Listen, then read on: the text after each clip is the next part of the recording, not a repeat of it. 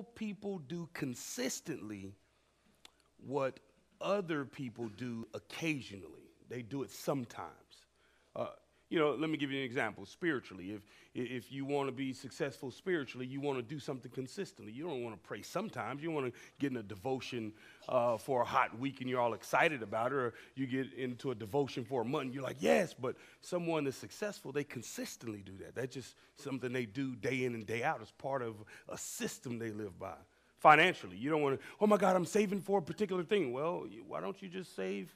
Continually, you know, consistently, and that'll make you be successful in your finances. Physically, you know, um, I, I, know we can all challenge ourselves physically to be consistent. You know, it's something that uh, I have to do every year. I work out about five and a half, seven months out of the year for sure. I'm going to work out about seven months out of the year. I'm like, man, why I just can't work out every day?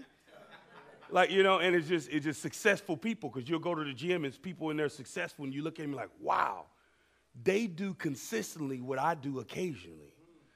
And, and so they're successful. What about relationally?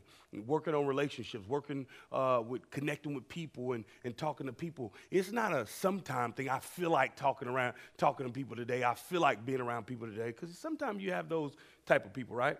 You know, they feel like it, oh, I don't feel like being around no one today. Well, if you don't learn how to work on your relationships, you will get uh, You'll do that occasionally and you won't be successful in your relationships. So get that. Successful people do consistently what other people do occasionally. What I want to talk about is goals to hit your target today. I want to talk about goals to hit your target because we all have something we're aiming at.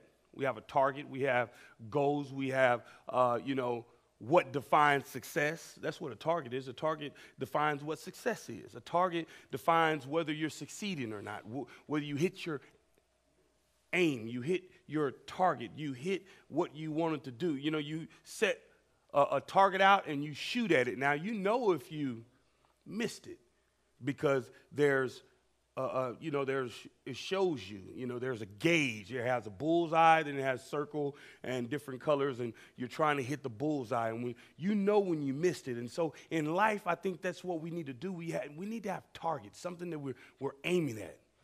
Well, we know whether it's success or not. We don't need to be shooting, you know, shooting, just shooting up a barn and then painting targets around the hole that we already shot and saying, Yes, I hit it, bullseye. No, well, you got to be able to have a target. And so uh, our habits will make us or break us. We become what we do repetitively. What we repeatedly do, that's what we become. What we do consistently, we do that repetitively. We repeat it over and over again. Our habits will make us or break us. And what we become is totally connected what we repeat. We become what we repeatedly do. And so we have uh, perfect timing, you know, um, because many times, you know, around the year we start resolutions, like I said. So, you know, many of you making them up right now, right? Or you've made them already. This is my resolution. Let me go ahead and tell you 92% won't last at all. 92% of the people, no, seriously, this is, this is a fact. Okay, typically in the gym, like around this time, I, I noticed yesterday I was watching a football game and they kept on putting treadmill and, you know, and, and, and bicycle commercials on. I'm like, they are killing it. They know exactly what they're doing. It's the season where everybody wants to get in shape. And then, right, uh, you know, because I've been in the gym around January, but usually around the end of January or February, it, you know, I can get my treadmill that I usually have all the time. You know, because, you know, I, I can't get it if, you know, January, I can't get it. I can't get it. You know, people are like, you know, I'm like, gosh, man, here we go again. And then around February, it's like, okay, everybody's out the way now. Now I can get my treadmill. But 92% of the resolutions won't last. Let, let me give you a principle today in the book of Romans, Romans chapter 7, verse 15 says, I don't really understand myself. Anybody ever felt like that? I really don't understand myself, for I want to do what is right, but I don't do it. Instead, I do what I hate. Anybody ever done that before? you want to do what's right. It's like, man, I got to do this, man. I want to do it. And then all of a sudden you just find yourself not doing it. I want to go to the gym. I want to save money. You know, I want to get this right. Right? I, I want to hit the target. As you jump over to verse 18 and 19, it says, I want to do what is right, but I can't. Have anybody ever felt like, I just can't? It seems like I just can't do it. I want to do what is good, but I don't. I do, don't want to do what is wrong, but I do it anyway. It's like, man, I'm, I'm challenging myself to do the right thing, but it seems like I just don't do it. Then it continues in verse 24. Look, it says, Oh, what a miserable person I am. They come to the conclusion, man, I am messed up. Oh, what a miserable person. Why? Because what I want to do, I don't do. I want to do what's right, but I can't do it. And so it's a war going on inside. There's a battle. I know I shouldn't be doing this, but I'm doing it anyway. It says, Oh, what a miserable person I am. Why wouldn't you be miserable? You should be miserable, right? Inside, when you're torn, you're going to be miserable. That's the most miserable person, the person that knows the right thing and don't want to do it. It's not the person that's not saved, it's the person that knows the right thing to do and just won't do it. And so this concludes in verse 24. He says, What a miserable person I am. I'm out of there. I'm torn. I'm confused. I'm missing the target. Who will free me from this life that is dominated by sin and death? Thank God the answer is in Jesus Christ our Lord. Thank God, right? Now, look at this. This is not talking about salvation here. It's not talking about a person that's saying, oh my God, I'm not saved. You know what? I, I, I need to be saved. So thanks be to God that He's going to save me. No, no, no. This is talking to the person that is saved, that knows the Lord because he knows the right thing to do. She knows the right thing to do, but yet she just will not do it. Where does the right thing come from? Where does the right thing come from? From the Lord the Holy Spirit living inside of us. So, so it's obvious that we have challenges when it comes to doing the resolutions or doing the plans or hitting the targets that we have. Some of us may say, like in our prayer life, we may say, Well, I just don't have time to pray. Well, Jesus was a pretty busy guy, I'd say.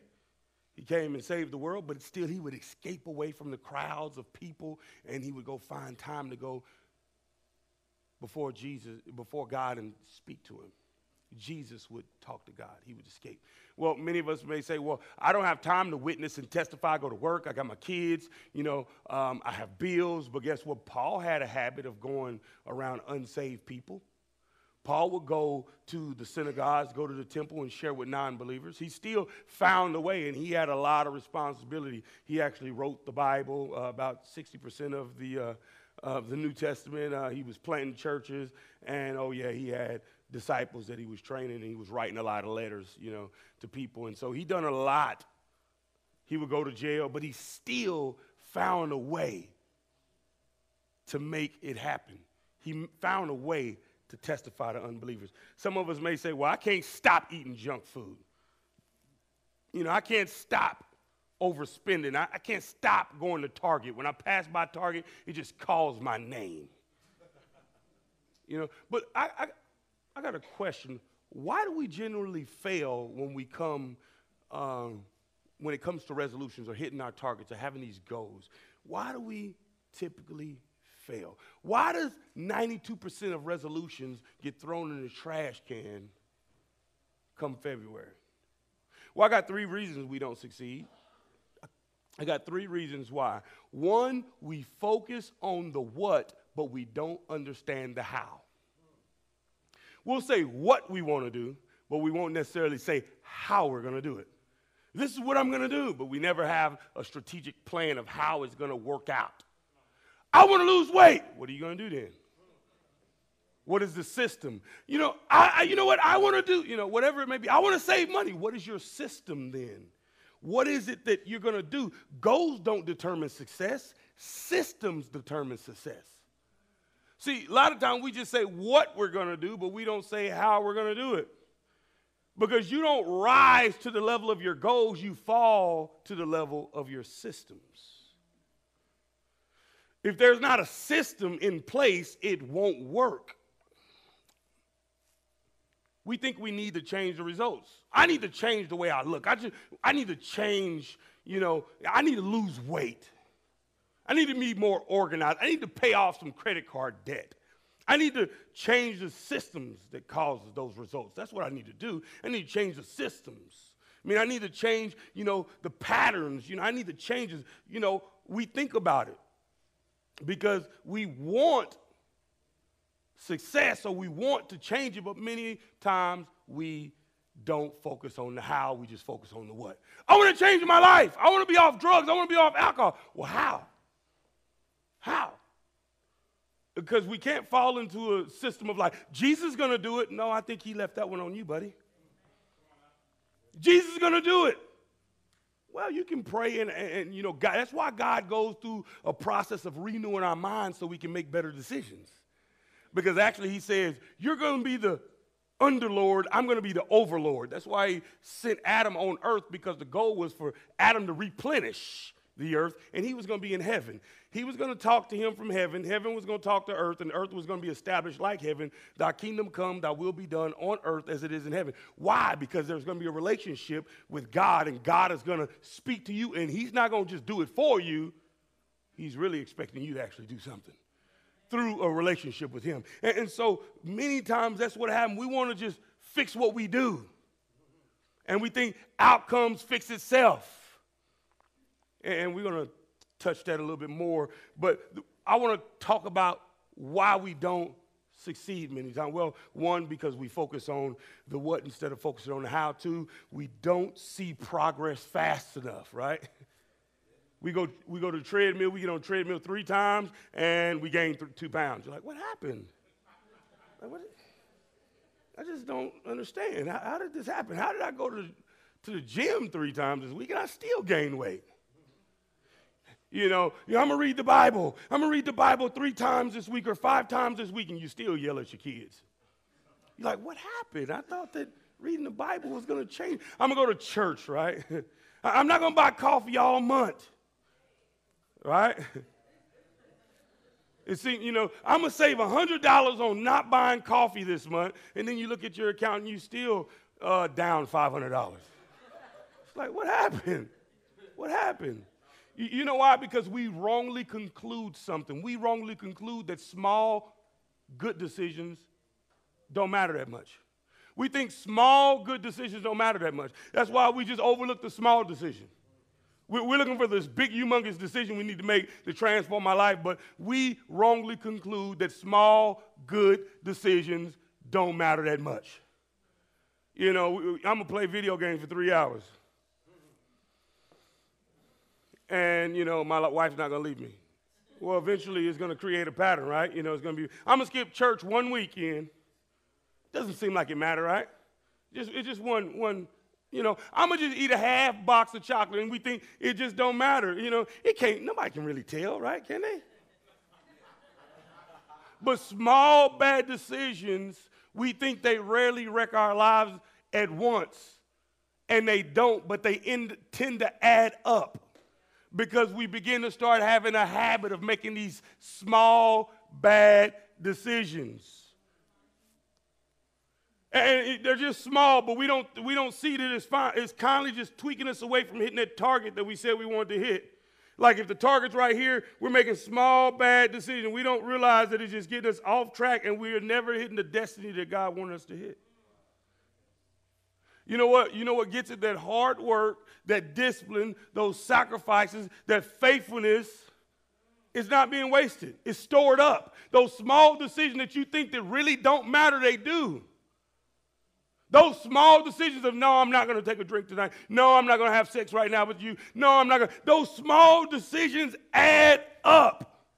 And we don't understand that those small decisions really do add up. So we, you know, we miss it. We wrongly conclude that Small good decisions don't matter that much. They don't matter.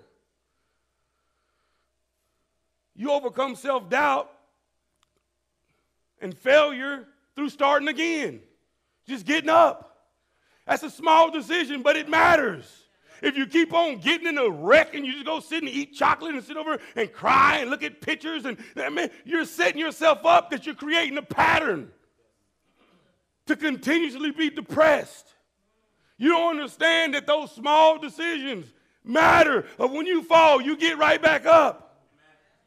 You know, self doubt, depression, fear, all those things come from us making those small decisions of feeding into that mess. We got to have a grind. We got to have persistence. You know, you know, we got to pay the private price sometime. I paid a whole bunch of private prices. No one knew that I was paying the price, but I was paying the price. No one understood. It was the small consistencies, those small disciplines that matters. Many people we wrongly conclude that small good decisions don't matter that much. And I'm to tell you another thing we conclude, wrongly conclude, that small bad decisions don't matter that much. We think those small bad decisions don't matter that much, and they're adding up. Our life is the sum total of all the small decisions that we make. They begin to start adding up, those small decisions. That's what happens many times. We miss it and we don't see that the small decisions. And so, because we don't get results fast we want, we begin to start making real bad, small decisions because we don't see the results. Oh, I'm not going to the gym today. You don't see the deposit. Oh, I'm not going to church today. And you think it's a, you come up with a great reason why. I get it all the time. People tell me, this happened, this. I'm like, oh, okay. That's on you. But I'm gonna tell you, every small decision, not just church, it's in everything. I'm gonna just eat, I'm gonna just take this seven dollars and I'm gonna go get three bags of Doritos once a week. Add it up. That is up. Do it for the rest of your life. Do it just gradually. Just go get you an ocean spray and always just swiping your card. And eventually you're wondering why you're not financially fit now. It's the time that no one sees that brings results everybody wants. It's no one sees those private practices those private disciplines of, of consistently getting up early in the morning and, and devoting an hour or so of praying, those times of just getting up, you know what I'm saying? When nobody's around and nobody hears you, you crying to God. No one hears you opening up those pages and turning those pages and trying to seek God's heart. It's those small things, it's the things that no one sees that brings the results everybody wants. Everybody will sit over and be looking at you, and they'll be wondering, well, why are you successful? Why are you going forward? It's like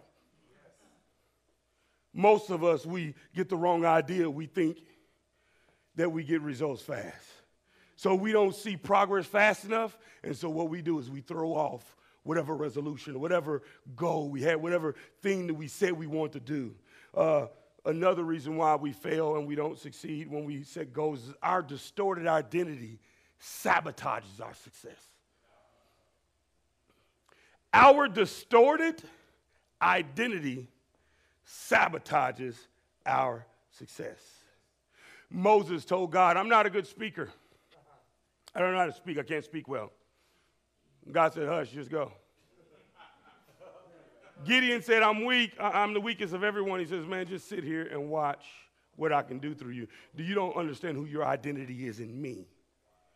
Paul said, I'm the least and the unworthy, the least of all apostles. I'm the chief sinner. God says, if you surrender to me. See, many times what we do is we focus on commitment instead of co- focusing on surrender. Commitment, you're still in charge. Surrender, God's in charge. Yeah, yeah. See, surrender means you ain't in charge no more. Commitment means you determine when you come, when you don't come, how you do it. See, I don't want to be committed to God's will. I want to be surrendered to God's will. I, I don't want to. I don't want to be committed to church. I want to be surrendered to church. I don't want to be committed to God's plan. I want to be surrendered to God's plan. Why? Because then I'm putting the ball in God's court and His power flowing through me versus me and my commitment. That's still a little uh, picture of pride and arrogance.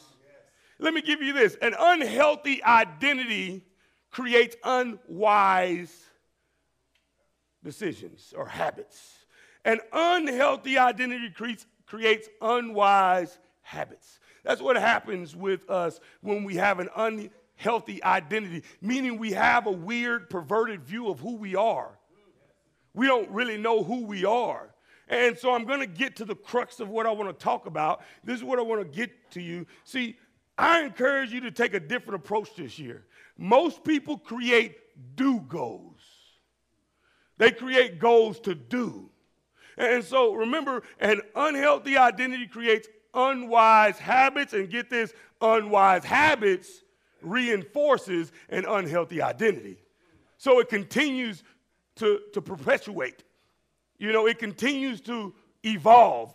Because I have an unhealthy identity, I don't know who I am, I have unwise habits, and because I have unwise habits, it continues to reinforce an unhealthy identity that I have. And so now I'm going through this, you know, this circle, this vicious circle of sabotaging myself because I really don't know who I am, but I'm setting up these goals of what I need to do. Doesn't that sound so weird? I don't need to do this. I need to have this resolution. I got all these do goals. I need to read more, get more sleep. I need less time on social media. Enemy tells you what you're not. That's who he tells you. He tells you what you're not. He doesn't tell you anything about what you do. He tells you what you're not. You're a failure. You're not a child of God. What is he attacking? Your identity. Because the identity is what's important for us to know. It's not about what we do, it's about our identity. See, a lot of us, we, we're missing it. We come and we'll, we'll come and we'll say something about what we're going to do this year. So I encourage you to start not with do goes, with who goes. Who do you want to become? who do you want to be? See, because once you get who you want to be down, the do will follow. See, most of the time we're focusing on what we, it's reverse. We're focused on what we need to do instead of focusing on who we're supposed to be. See, if we focus on who we're supposed to be, then we'll do different things. Because out of your identity comes your actions. Some of us say, Well, I stink handling money. Well, begin to get your integrity up. That's who you are. And when you get your integrity up, you'll handle money better. I want to be a true man of God. I want to be a godly wife. I want to be a godly mom, a bold witness. These are the things you want to be. I want to be a witness. I want to be sober. I want to be clean. I want to be financially free. I want to be a healthy person. I want to be, not what I want to do. It's who I want to be. This is just who I am. When someone says, Why do you do that? That's just who I am. Man, I want to be able, I don't know how many times I've been discipling people say, man, I just want to be able to do what you do, man. I just want to be able to handle pressure and seem like all hell be breaking loose in your life, Pastor, and you just keep on flowing. I want to be able to do that. I'm like, well, you're going to have to learn to get your identity from God, the same God that I have. Because he, he's the one getting an identity. It's not about what I do, it's about, you know, who I am. And that takes time. Some of us are trapped in the same identity we've been in for years. But we keep on setting these resolutions day in and day out of who we want, what we want to do. But I'm here to tell you set the goals of who you want to be, and let's see God do something special. Romans chapter 6, verse 6 and 7 says, We know that our old sinful selves were crucified with Christ so that sin might lose its power in our lives. We are no longer slaves to sin. Someone say, I'm no longer a slave to sin. No, come on, you got to believe that. I'm no longer. Come on, get that in your spirit. For when we died with Christ, we were set free from the power of sin. Verse 18 continues. It says, Now you are free from your slavery to sin and you have become slaves to righteous living. Who am I? That's the question you should be asking. Who am I? Not what you need to be doing. Who am I? Who am I as a person of God? Who am I? You know, because you're forgiven. You're a child of God. You're redeemed. You've been washed in the blood. You're an overcomer. You're a mighty person. You're the head, not the tail. The Bible tells us who we are. And identity shapes your actions. Identity always shapes your actions. You will do a particular thing because of your identity, who you are. It's not in reverse. Don't ever think it's in reverse that you're going to set some things up and I'm going to do this. And you, it's not about what you do, it's about who. So this year, it's not about setting a lot of resolutions and all these goals. You know what the target is? Find out who I am. Find out who I am in Christ. And I'm going to tell you, this is a long, long, long, long, long journey. Some of us, we conclude that I already know. Well, this is a, a constantly evolving thing. That's if you're growing. Some people say, I know, Pastor. Well, you better get close to me because I'm still trying to change. You better get around me because you ain't going to get to know me unless you get around me, you know what I'm saying? Because I want to be evolving. And for me, if I'm away from somebody for about a year, I'm like, man, we got to invest some time in getting to know one another again. Why? Because I hope you've been changing because I know I have. And because I don't know you no more, you don't know me. We know of each other, but we've all changed over time. And so that's the importance of having the target of getting to know who you are. Remember, healthy identity creates positive habits. And positive habits, they reinforce a healthy identity. Why do you have this healthy identity? Because you have these positive habits. Why do you have these positive habits? Because you are healthy in your identity. Who do you want to become? That's the question. Not what do you want to do next year? Who do you want to become? It's more about who, not what. Oh, so many people sit down and tell me, What are your goals this year? I said, Man, it's to get to know Jesus more. And I know that's a textbook thing, but I really want to like be walking and just hear him be like, nah, I'm not going that direction. Some people claim that stuff, but uh, some people claim it. Some people claim it. No, seriously, but I want to hear him like just Ooh, man, I want to hear his voice so clear. You know, I, I want to be able to, to know exactly what I'm supposed to be doing in life. I want to get clarity from him. I want to just sit down and bask in his presence and enjoy it and don't let nothing come in between me and God. Not, a, not an attitude, not a person. No one rob me. Or I don't allow nobody to come in my space that would intrude that. No sin, no nothing, nothing. Now, I'm not saying perfect, but I want to get to a point where I know him better. That's what my goal is, and that's who he created me to be. And that's a guy who loves Jesus is obsessed with his bride. He's a great dad. He's a better father. He's a better husband. A woman that's obsessed with Jesus, she's a better wife. She's a better, uh, she's a better mother. She's a, a mighty woman of God. She's devoted to uh, serving the Lord and reaching other people. She's devoted to, you know, somehow getting plugged into a church and serving because some weird reason we didn't came to a point where we think we just come to church, but we don't supposed to have. The Bible says when we have a gift, we're supposed to release that gift in, our, in, the, in, the, in the body. You know, that, that's the whole goal. Is you, if you got a gift, release it in the body. That's the whole goal. You got to read in, in 1 Corinthians, it talks about it all day. If you got a gift of prophecy, you got a gift, you release that thing.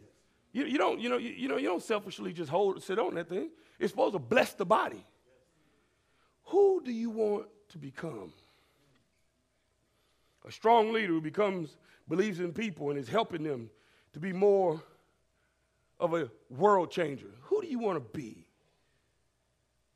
A guy that takes care of whatever God has entrusted me in. Whatever, whatever properties, whatever houses, whatever cars, whatever people. You know, who do you want to be? And, and I always read this. This is something I read to myself constantly. You know, I, it's been something that I do all the time, pretty much every morning. I am a man of God, speaking it in my life, a father to the fatherless a developer of fathers. I am convinced the gospel of Jesus Christ is our only hope. I am passionate about seeing transformation in my life along with others. I am dedicated to church planting today, like every day. I will serve Jesus with all my heart to play my role in the kingdom of God. That's what I'm telling myself every day. I am a man of God. I am a father of the Father. I've made it my screensaver. I look at it constantly. Three or four times a day, I look at it and say, God, I am a man of God. Because you know what the enemy is trying to tell me? I'm not. You know what the enemy is trying to tell you whether you want to agree with it or not. That's why many of us get in depression because we're, we forgot our identity. We forgot who we are. We forgot we're overcomers. We forgot that He is greater in us than He that is in the world. Greater is He that exists in us than He that is in the world. We forget that I can do all things through Christ with strength. We forget that I can get a word from God. I don't have to have a word for my depression and my emotions and my feelings. We forget who we are. And because of us forgetting who we are, we can set every goal in under the sun. And if we don't know who we are, there's no way we'll do those goals. Because what takes birth out of identity is action.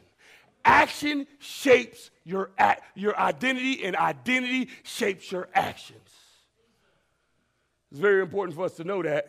And so today I ask each and every last one of you what does 2020 look like for you? Is it something before you that's going to challenge you to become better of a person? Are you going to come to a, the conclusion and realize I don't need to set goals? I need to become a particular person, and the goals would just, I mean, you'll just totally like flat weed goals. You will blow through goals. You'll be accomplishing goals and won't even know it. I'm more growth oriented than goal oriented. Because goals come to an end, growth is continual. And you'll get to a goal and you're like, okay, now you got to create another. If I just keep on growing, I'm conquering goals and don't even know it. Like as I grow, it's like, oh my gosh, look what's taking place. I accomplished that, I accomplished that. Because out of your identity produces and it shapes action. I'm not saying don't have any goals, but don't let that trump growth and identity. This year, let us make sure that we be the type of people that is seeking identity and not seeking the do. Focus on the who. All right? Today is the last service of the year, so what I want to do is I want you guys to uh, to get ready because I want to. We want to take the Lord's Supper. We'll take the Lord's Supper. I don't know. They may have had a cup right there, and I don't know if they even gave me one. It would have been, it'd been good for me to get one, right? Thank you so much. And so what happened is the night that Jesus was betrayed, the night that Jesus was betrayed, what he done was he was in the upper room. And in 1 Corinthians chapter 11, he talks about it.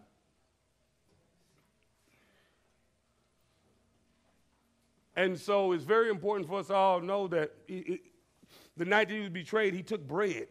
And if you, if you can hold on right fast, we're gonna we're gonna go through it. And, and so in verse 23, it says, For I pass on to you what I received from the Lord himself. On the night when he was betrayed, Jesus took some bread and gave thanks to God. If you can hold up. Amen. He took some bread and he gave thanks for it. Then he broke it in pieces and said, This is my body, which is given to you. So he's prophesying, he's telling them that I'm going to give my body up for everybody. And that's what the bread represents. The bread represents God's body, and our sins was, was borne in his body. It was, it was right there in his body because he took on the sins of the world. So he says, Do this in remembrance of me. In the same way, he took the cup of wine after supper, saying, This cup is a new covenant between God and his people, an agreement confirmed with my blood. Do this in remembrance of me as often as you drink it. For every time you eat this bread and drink this cup, you are announcing the Lord's death until he comes.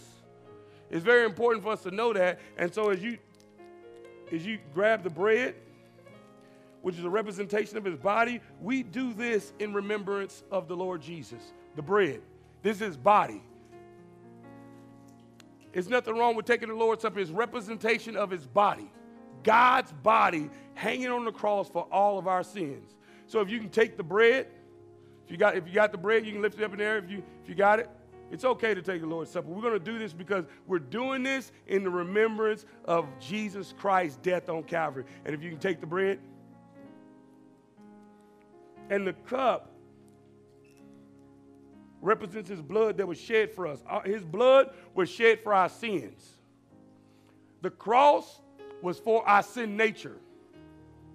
The blood was to wash away our sins. The cross was for us to see that we can die to our sin nature. But today, the blood represents him washing away our sins, and there's a new covenant that we can be at, we can be forgiven of all our sins. We do this in remembrance of Him. You can raise up your cup. We do this in remembrance of Jesus Christ and the blood that He shed for us, and we can take the cup.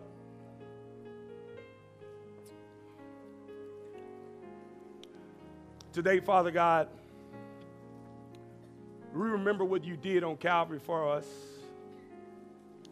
We remember that you died to remember us, to put us back together, to remember us, to put us back together. Our broken lives, our broken minds. Lord, we thank you. We thank you for dying on the cross and bore, borne our sins in your body. We thank you for your body. We thank you for allowing the whip to rip flesh off of your body on behalf of us. We thank you that you allowed nails to be pierced to your body on behalf of us. So we could learn who we supposed to be.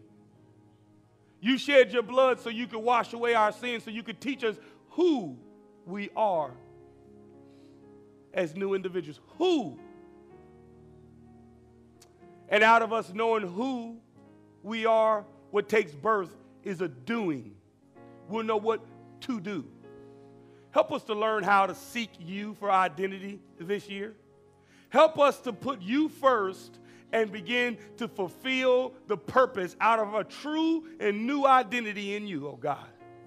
We thank you for your blood, Jesus. We do this in remembrance of you until you come back, Jesus. We purpose in our heart to continuously remember you. Remember that you are greater than our problems. You are greater than our pain. You are greater than our perspective. You are great because you're a problem solver, because you're a healer, and because you're a mind renewer. And so today we lift up our hands, we lift up our voices, we declare that we remember you and everything that you've done for us. We remember your body on the cross. We remember you shedding your blood for our sins. We remember you. We remember you, oh God. And we thank you and we love you for everything that you've done for us. In Jesus' name, amen. Thank you, Jesus.